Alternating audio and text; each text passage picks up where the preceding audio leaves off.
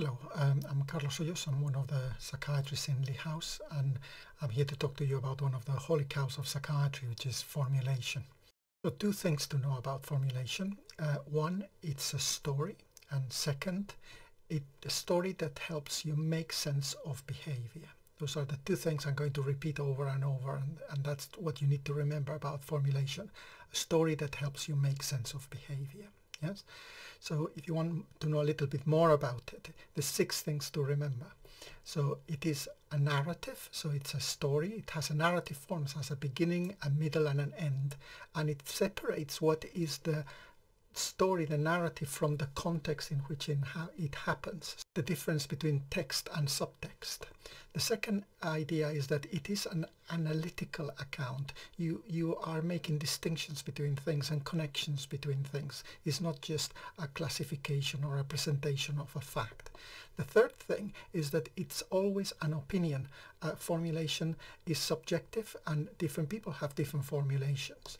The fourth thing is that a formulation makes causal attributions. It explains why things happen or tries to explain why things happen. It makes attributions of causality. The fifth thing is that it is an idiographic construct. It's specific to each case. You're not trying to define what everybody with the same problem does, but what happens in that particular case. And the last bit is that formulations are always fluid. They keep changing all the time. That's the nature of formulations. So if you only want to know the basic about formulations, you've had it. Those six things. A story that makes sense of things, which is a narrative, is analytical, it's an opinion, makes causal attributions, it's idiographic and fluid. You can stop here if you want to. But if you want to know a little bit more about the two key things, so how we make sense of behavior and what type of story a formulation is, stay on and I'll explain those. So the next thing I want to talk a little bit about is how do we make sense of behavior? Um, so we all do that, but what, what do we mean making sense of behavior? Before I start talking about that, I need to uh, tackle a couple of very difficult concepts. And the first one is this thing called the mind yes so the mind is it, it drives people crazy when we talk about it especially doctors who uh, have trained in biology and find it difficult to get their heads around this thing called the mind. So let me spend just a little bit of time uh, talking about the mind. So the first thing is the mind is defined for what it does. So the mind is a psychological idea, is a construct, and it's defined by what the mind does for you. So the mind is a collection of functions, psychological functions, um, that uh, your nervous system does for you. So for instance, your nervous system, the nervous system of most living organisms has a function, which is that it allows mm, organisms to move in order to look for food and to nourish themselves. Um, um, very simple minds from worms, they still have that function, they can do that. And as organisms evolve, new functions arrive. So some of them are able to remember where food is and they have memory. The, the, the nervous systems are able to store information and then have a representation of what reality is like in, in inside of the mind. So the mind's functions are to know what is up and what is down and what is right and what is left and what's there and what's not there and also orient orient yourself in space and in time to have a memory of what came first and what came second and then you have functions that uh, have evolved later only to certain animals which are kind of functions that allow certain animals to um, to live in societies, like being able to identify threats, or being able to know who's going to help you, or being able to mm, drive sexual behaviors, or knowing who you can mate with and who you can't, and also um, establish connections and relationships that allow things like, for instance, bringing up babies, you know, uh, and also sense more complex social functions, so the ability to recognize a group and who is us and who is them. Um, and then one last function, there's many more, I'm just mentioning some, but one last function that is worth mentioning is that uh, in very advanced um, uh, organisms, uh, the, there is a function of the mind that allows us to understand that other organisms also have minds of their own. We call that theory of mind. Yes? So when when I talk about the mind to uh, people who are trained in medicine, uh, they usually refer to the mind or the brain indistinctively. You know, so oh, my brain uh, has memory, or you know, and and it's important to spend some time differentiating the, the two. And in order to differentiate between the two, it's helpful to start with uh, a simple uh, function of the brain or the organisms. So all organisms have an eye yes. Uh, well have the eye and you have all the um, mechanisms or all the circuitry behind the eye that allows the eye to produce vision. Yes. So you have the eye and you have what the eye produces which is vision Yes. So vision, the ability to understand colors and understand shades and perspective and all those things. Yes. So when we talk about the eye, we talk about a biological concept. But when we talk about vision, we talk about a series series of constructs that we've invented in order to describe what the eye does, like color. Yes. So there is no such thing as color in biology. What there is is a perception, a psychological experience of color. So we talk about the eye and we talk about vision. And it's helpful once you make that distinction that vision is what the eye produces to understand that the mind is what the brain produces. So when we talk about the brain, we're talking biology. When we're talking about the mind, we're talking psychology. Just like the eye produces vision, the brain produces the mind. Yes? Only this is slightly more complicated um, because uh, it's not just the brain, is it? Uh, so it is the brain and the brainstem, and then all the organs that produce um, hormones that affect the brain, like uh, androgens and estrogens and adrenaline. That, that's crucial in in creating a mind. Yes, and the second complication is that the mind is not just a series of mental constructs. The the mind produces behavior. So, and behavior is something observable, something that happens outside of the organism. So, so the brain is the nervous system and the mind is something that explains behavior. In fact, the way to analyze this is not uh, like the eye and vision. The way to explain this is that the mind is what we invent in order to explain behavior as a function of the nervous system. And that's the explanation of what the mind is that I'm happy with. So when we observe somebody's behavior, so uh, we, we can watch two people interacting and we observe them. We, we, when we observe, we interpret, we make sense of their behavior using our theory of mind. So we assume that there is a mind inside the person we are observing and we try to understand what's going on in that mind. So for instance, we might say what is happening in the mind of this guy is that he is uh, flirting with that girl because he likes her and he is uh, uh, very happy about it uh, and he's getting feedback and he's excited because uh, he thinks things are going well. All those are attributions that our mind does to the mind of that other person in order to explain the behavior they're doing. And in order to explain that, we use a lot of functions of the mind. Yes, uh, we attribute uh, causality, we attribute intentions, we uh, attribute emotional states and anticipation, lots of things that we experience by ourselves, we attribute to the mind of this other person. And what I'm going to try to explain a little bit more is how we do that process, how we do use our minds to understand the minds of other people and, and how to how we understand the minds through their behavior. So uh, how do we make sense of people? So making sense of the behavior of people is one of the most important things that uh, anybody does. And in psychiatry, that is our job constructing formulations, narratives that explains people's behavior. And there are different ways to go about it, and I'm going to explain five of those. And I'm going to use an example. The example is this. Um, uh, in my house, uh, there are huge spiders. And when my wife sees the spiders, she freaks out. She freaks out and she runs out of the room. Yes, um, that's a very strange behavior. Yes, uh, these are tiny spiders. You know, Um, so I need to explain this behavior and I can go about several ways to explain the, this behavior.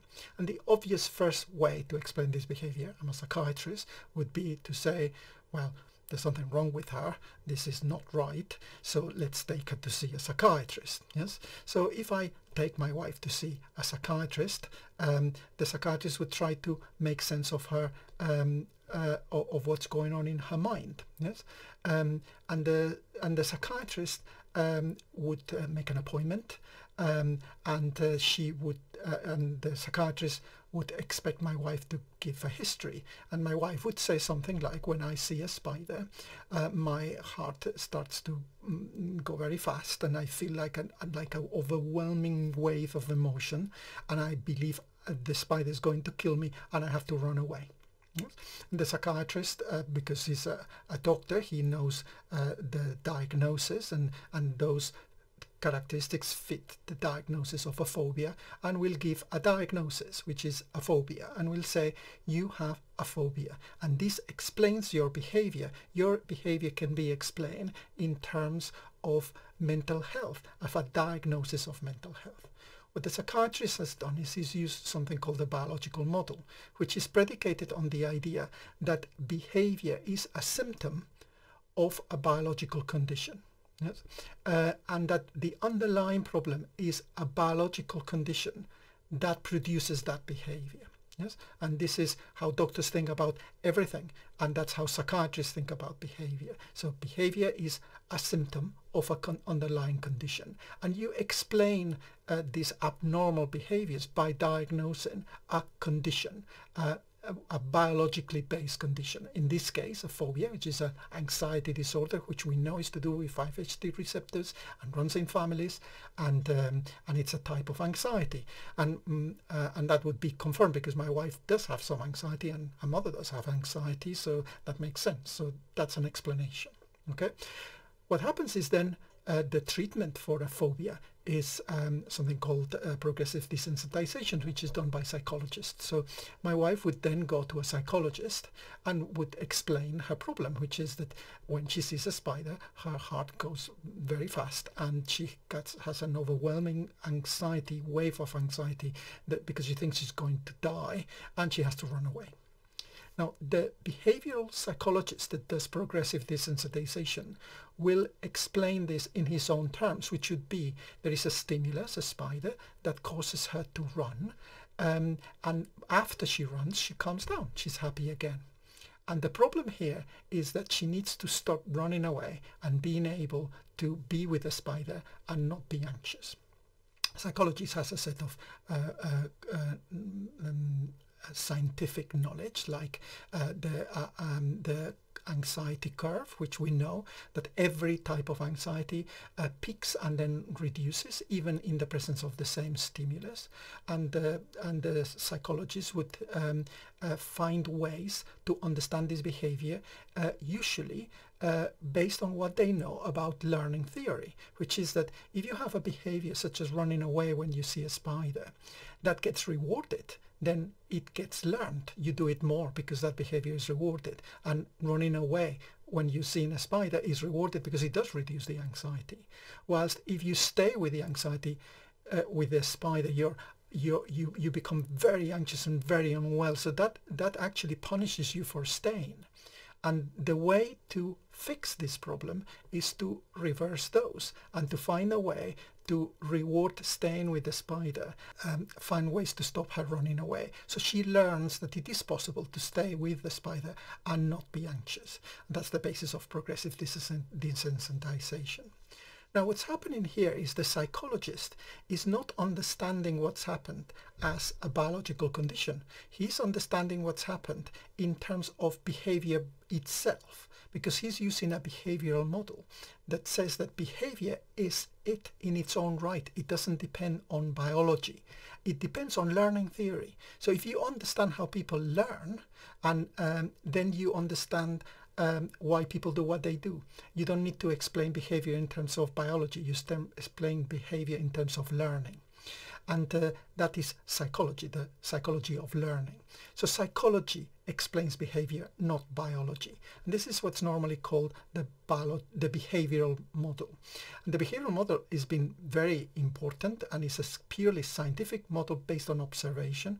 And um, it, it was very popular in the 50s and the 60s and a lot of research that was done then with pigeons, rewarding and punishing pigeons, led to algorithms on what kind of rewards work, which underpin uh, things like slot machines or Facebook algorithms. So it is very important. So we have now two models really. One is the pathophysiological model or the biological model, which says behavior is a symptom of a condition and uh, biology is the cause of behavior. And another, and of course doctors know best, and, and another one which says uh, no, behavior is something in itself that needs to be studied in itself and is explained by learning theory. And psychology explains behavior. Yes? Um, uh, these are two different ways to look at the same behavior. I'm not saying one is right and one is wrong. These are two different ways to look at the behavior. Yes.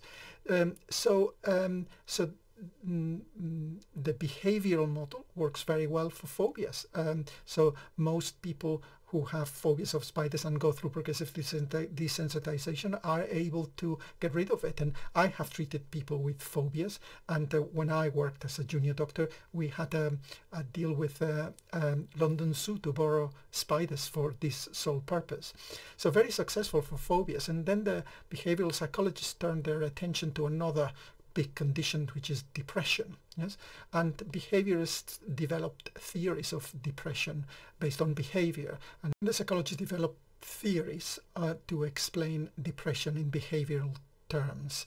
Um, uh, and uh, uh developed therapies for uh, depression in terms of you know training people to respond and um, and and get away from their model which was learned helplessness so they had to learn to be helpless about how they felt and that didn't work at all.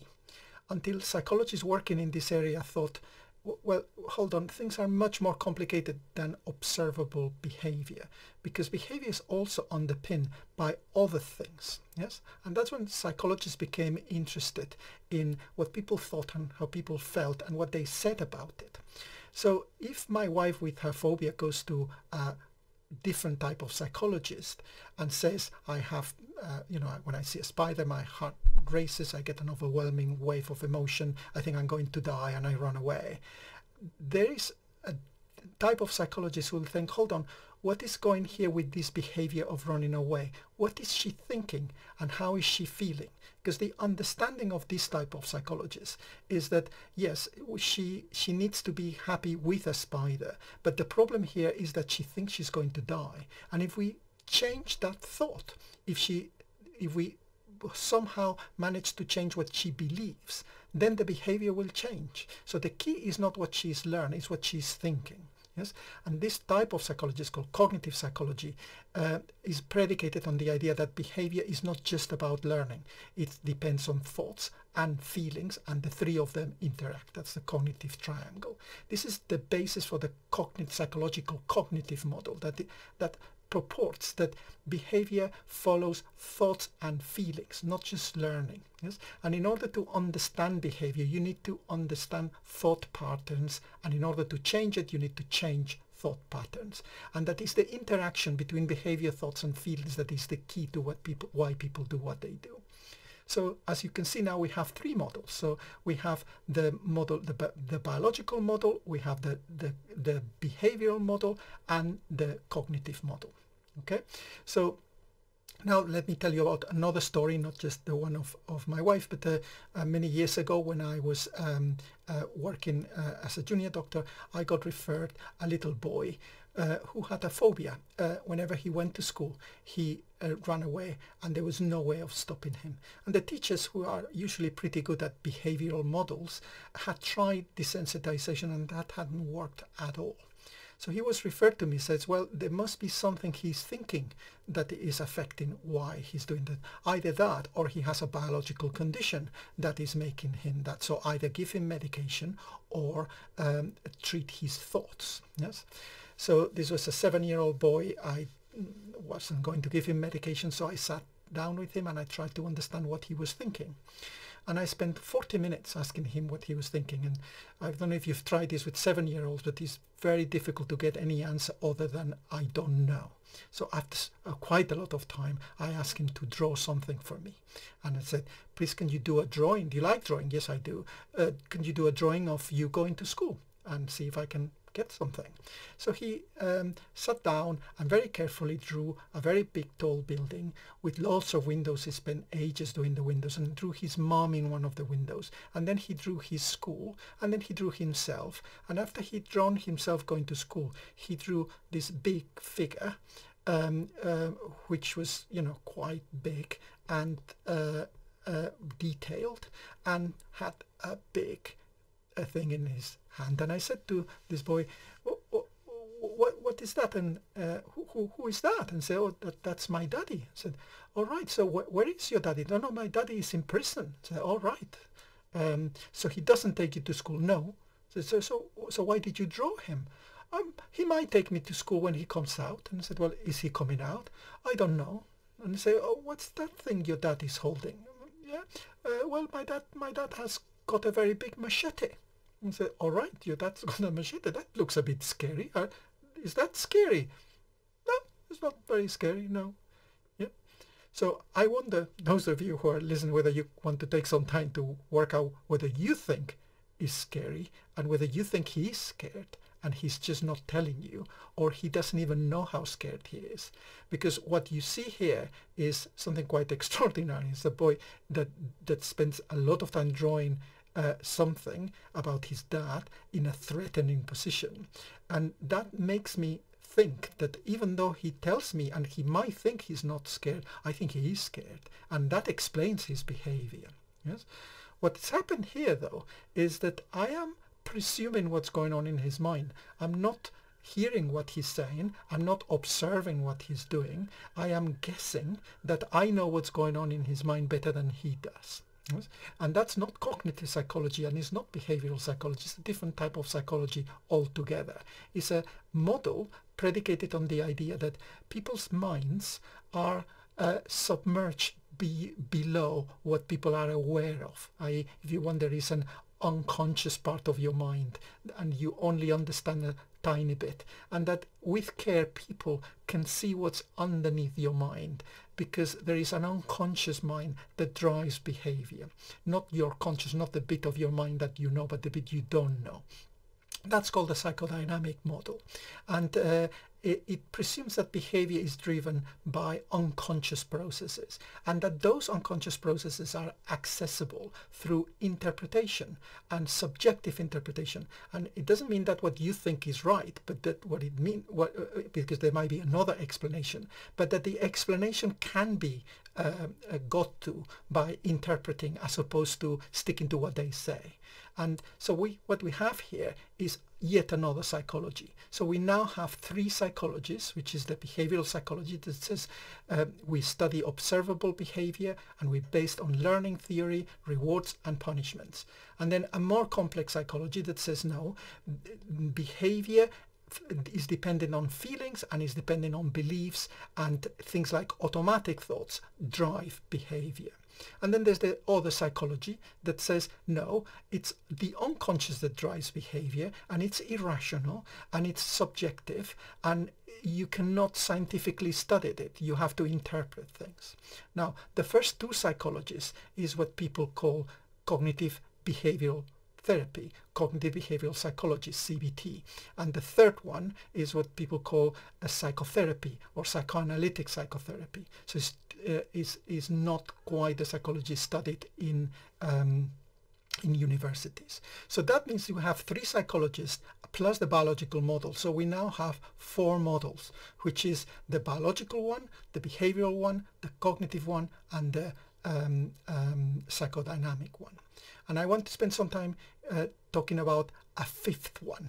Sorry, there is a fifth uh, model that we use all the time, which is the model predicated on the idea that it's not that one thing causes another, it's how things go together that causes something more complicated like a watch. So it's not that there is a bit of the watch that tells time, is that the way the little bits of the watch are are put together that does something that none of the pieces do, which is to tell the time. And if you want to understand behavior, you need to understand what the behavior means to the people around the person who behaves. So the idea is if you want to understand what's going on in, in somebody's mind, you need to understand what's going on in the minds of the people around them. And not just what's going on in each of their minds, but how those minds connect to each other, how they make meaning together. Yes. So uh, and and the focus is not of on what's going on inside the minds, but is more on the connections between people and what goes on between minds. So patterns of relationships, the context in which those minds operate and the co-construction of meaning between those people and and and the context for that is not just the people in the family but a much wider context. Of what's going on politically? What's going on in terms of the way society ascribes privileges and values? Yes? And i'll give you an example. If my wife with her spider phobia goes to a family therapist and the family therapist says well i will treat you for your phobia but i need the whole family to come to understand what's going on and uh, so because I love my wife I would go to the family therapy with my wife. And the family therapist would say well what happens when you run away when you see a spider? What does everybody else do? And uh, I would say well what happens is I roll my newspaper and I go and I smash the the spider and then everything is fine and um, and then the therapist would say, "How do you feel about that?" I'm very cool about that. And then the therapist might find that one of my daughters is laughing a little bit and say, well, "Why are you laughing?" Says, "Oh, because that loves killing spiders." And my other daughter laughs, and my wife smiles and says, "Oh, tell me more about this," you know. And then they say, "Well, it turns out Daddy doesn't do many manly thing around the house. He's crap at the DIY, all the things men are expected to do. But the only thing he's good at is smashing spiders. So whenever there's a spider, he's very happy about it. And the therapist is that right? Say, well, it's not that I'm happy about it, but you know, I don't mind doing this for my wife. Yes. So the families might, the family therapist might construct a meaning to that behavior, which goes beyond what's going on in my wife's mind and what's going on around it and what the behavior means to everybody, not just to my wife. And then the family therapy might end up saying, well, actually, why don't you just ignore the phobia and uh, keep it up because uh, that's what keeping your mm, your family together. And if you get rid of the spider phobia, who knows, you might get a divorce. So go on and stay with it. Yes, I'm not saying that's what happens, but it's an example of a different way of understanding the same behavior. So the idea that there are other models than the psychological and biological models, and this is called the systemic model. So the systemic model is predicated on the idea that behavior is a product of context and that if you want to understand behavior, you need to understand the different narratives that explain behavior, not just the one. And, and you need to understand that behavior is not always caused by a direct line, but that often behavior is circular. So because one person influences uh, A, then A influences B. So uh, you, you don't listen to me um, um, so I have to nag you. And the other person would say, no, sorry, you nag at me all the time. That's why I'm not listening to you. So the idea that causality in, in behavior is circular. Um, so those are key ideas about the systemic model that calls for another video. Uh, at the moment, I just want to, I'll, I'll, stop here. The idea that there is five models to understand, the four that I've been going on about, the three psychologists plus the biological one, plus the systemic model. Okay, so when we see somebody's behavior and um, and uh, we need to explain it. Uh, what doctors do is they explain things with a diagnosis. They'll say, this is a phobia. ICD-10 says that. But there is a more rich way of explaining the behavior, which is to construct a story, a narrative that says something like, well, the problem here is you see a spider and you run away and that's because you had a friend who um, uh, in Australia died um, when they were bitten by a spider. And that makes you believe that you're going to die. And of course that is maintained because the relationships in your family mean that uh, it's much easier for your husband to smash the spider than, than to deal with this or even try to understand what's happening uh, and because the family is happy otherwise and because you have a predisposition to anxiety um, uh, th that explains what happened. And actually you might want to take a, a bit of medication for anxiety or you want to have other options. Yes, that's a much richer way of understanding what's going on other than saying this is a phobia. Yes, and that's the difference between a formulation and a diagnosis. Yes, so a formulation is a story that uh, makes sense of behavior. So I've explained how we make sense. Now I'm going to spend a little bit of time telling what kind of story a formulation is. So a formulation is a story uh, that follows a particular pattern. And the pattern is that we first decide what the problem is. And once we've decided what the problem is, we decide what makes this person vulnerable to that behavior in the first place. Yes? So um, why uh, this person could possibly have had this from the beginning. And then we separate that from precipitant uh, um, factors, what triggers that problem at that time when they present to you. And once we've done that, we said this is the problem, this is what predisposes to the problem, this is what precipitates it, then we look at what makes the problem worse as it is now and what makes the problem better as it is now. And that's the structure of the narrative of a formulation. That's a convention. This is what we, how we agree to construct stories. And we call those five uh, aspects, five P's, because we can have words that explain them and they all start with P, which is the problem, the predisposing factors, the precipitating factors, the perpetuating factors, and the, prote and the protective factors. We're talking about factors as bits of information, and factors themselves don't don't they imply but don't explain causality. The causality is, is, is explained through the models. So we might say the problem here is that you have a phobia. Or we might say the problem here is that when you see a spider you run away. And then we might say this is precipitated by you moving to an old house or this is precipitated by your husband uh, being crap at DIY and you're predisposed to this through a biological thing which is you have a genetic predisposition to anxiety or you're predisposed to this because uh, in your childhood a friend of yours died of a spider bite in Australia. Um, or uh, you've always had phobias. You used to be phobic of dogs and now you're phobic of spiders. So that predisposes you to having a problems of spiders. And we might say and things are perpetuated because you have a family that work and and uh, you have good supportive relationships so this doesn't cause enough problems for you to need to change. And you might be protected because you're well educated and you you, you live in a family where uh, things are stopped from spiraling Yes? That's how we construct the story. That's the shape of a story. Now, in psychiatry, um, we uh, like uh, uh, to, to classify factors uh, rather than to work out how one factor interacts with another because that makes the formulation closer to a diagnosis. And the convention is to classify the factors of a formulation in columns according to those five categories of the story and then to further divide them into biological factors psychological factors and um, social factors um, uh, so for instance, we would say the problem is a biological condition called phobia, or we might say the problem is a psychological condition, which is that you run away. And we might say the predisposition is biological because you have a genetic predisposition, or is psychological because you used to have phobias when you were uh, a, a, child, or is social because you had that story with somebody uh, in Australia. And we might do this for all the little boxes in that chart and work out what is a predisposing factor, what is um, precipitating factor, what is psychological, what is biological, and what is social. Uh, I find the idea of factors um, a bit confusing because uh, what we are doing really is attributing causality according to one of those five models. But when we present it like this, we pretend to be agnostic, but actually we are implying things. The second thing that I find difficult about this is that I don't know what is a psychological, a biological, and a social factor. Take, for instance, IQ. So IQ, uh, uh, so intelligence, uh, is often a very important factor.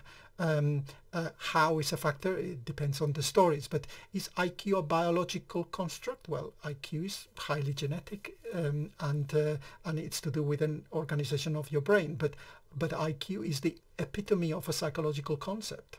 Uh, and actually the value of IQ is completely socially determined and the effect IQ has on mental illness is depending on your environment. So it is a social too. So I wouldn't know where to put IQ in the three rows.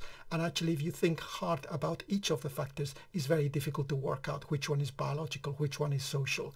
I think the important thing to remember is that what is um, um, biological, psychological, social is the attribution of whether that factor is causing the problem or not, rather than the factor itself.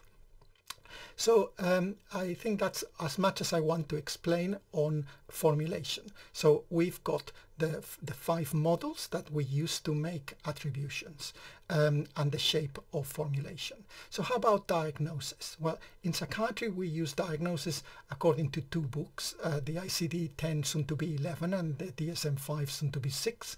And uh, diagnoses are the opposite of a narrative. They are categorical. So for instance, I'll give you an example of how those manuals diagnose depression. So in order to be depressed, you need to have, um, uh, for a mild episode, two of the main symptoms and two of the other symptoms, or for a moderate episode, two of the main symptoms plus three or four of the second ones, and for a severe episode you need to have all three main symptoms plus four of the other symptoms. And if you have those, you tick the boxes, you have a depression.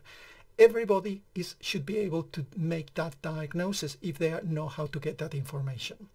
Uh, so it's not tailored to the patient, this is tailored to everybody. Yes, and that takes me to the differences between formulation and diagnosis. So diagnoses are categorical. You you put somebody in a category. You have a phobia or a depression or an anxiety disorder, and they're descriptive. They said, when I say you're depressed, I see you meet those criteria. I'm not saying why or um, um, I'm not saying uh, what it means. I'm just saying this is what describes what you've got. And it's objective. Any psychiatrist following the same manual should arrive to the same uh, diagnosis. It's not my opinion. It's objective. It's there. Anybody can observe this and tick those boxes. And it doesn't attribute cause. It doesn't say you're depressed because of that. It says you are depressed. That's all I'm saying. Yes. And it's nomothetic. it, it is uh, the same applied to everybody. Um, uh, it's a categorical thing. You're making an assumption about what depression is, not what's going on in the life of that person. And it's fixed. Once you get a diagnosis, you get a diagnosis. You might stop having a diagnosis. That doesn't mean that when you got it, you got it. Yes. Whilst a formulation is the six things I said at the beginning, is a narrative, is a story, and is analytical. We say there are three parts to this story, and there are causal links and, and separations, and it's an opinion. Different people will have different uh, uh, stories to tell depending on which models they prefer. And they make causal attributions. They said this is happening because of this. Yes? Um, and it's idiographic. It's tailored to that particular person. Is not making an assumption about everybody with the same problem. And it's fluid. So um, um, formulations change all the time. People come to us with a formulation and we add information construct a more complex formulation and after they leave their formulation continues to change. It's fluid it's not fixed. And it's idiographic. So let me explain a little bit about the difference between idiographic and nomothetic you know. So so idiographic means it's individual is subjective is private.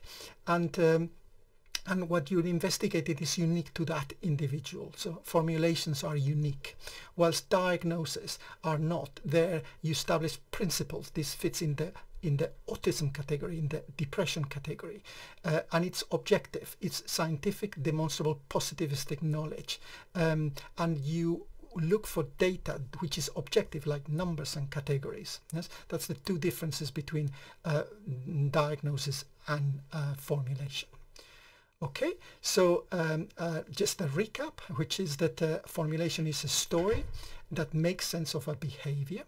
Um, uh, we spend some time uh, looking at how to make sense. Uh, we had a little detour at the beginning to explain what the mind is, and we said the the the the brain is to the mind what the eye is to vision, and then we explain a little bit about the different functions of the mind, and we hone in on one of them, which is theory of mind, which is the idea that we have a mind function that allows us to understand other people's minds and that's the essence of formulation. And once we established those two key ideas uh, we talked about how we make sense of behavior and we came up with those five models you know the uh, psychodynamic model the behavioral model the cognitive model the biological model and the systemic model. And once we discussed those we looked at uh, the nature of the story in formulations and we came up with this structure of the story of formulation which is that we establish what the problem is what predisposes what precipitates uh, what perpetuates and what protects. And those are the key ideas of uh, formulation. This is a story that helps helps make sense of behavior. I hope you survive these 50 minutes of uh, of talking. I just want to um, say um, uh, um, um, this is one of the most difficult, most key ideas in psychiatry. And also I want to say the story I said about my wife, that that's not true. My wife doesn't have spider phobia and I am really manly about the house. So thank you very much and hopefully I'll see you another time.